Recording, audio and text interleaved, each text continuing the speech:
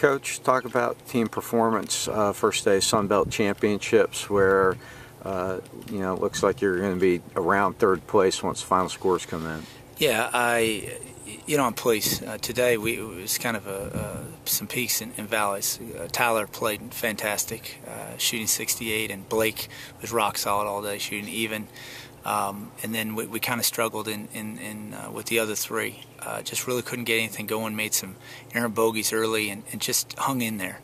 Uh, Lane made a clutch birdie on the last hole to, to shoot four over, and, and Michael just kept on getting up and down and, and really uh, scrapped it around to shoot uh, 77. So, you know, you can't win on the first day. Uh, we've we've been here before and in this position, and you just you want to stay in the game and uh, you know I, am really pleased that uh, the guys were able to do that.